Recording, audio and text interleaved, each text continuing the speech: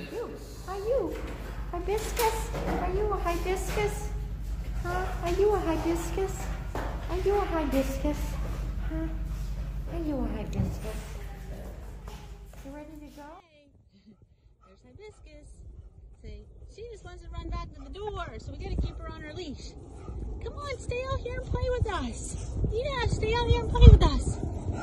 Hi, good girl. You're you're just gonna run right back to the door. Why? Why are you doing that? Why are you doing that? Good girl. I would even throw toys and you you won't do it. You run right back to the door. All right, come on, let's see if we can get some pictures.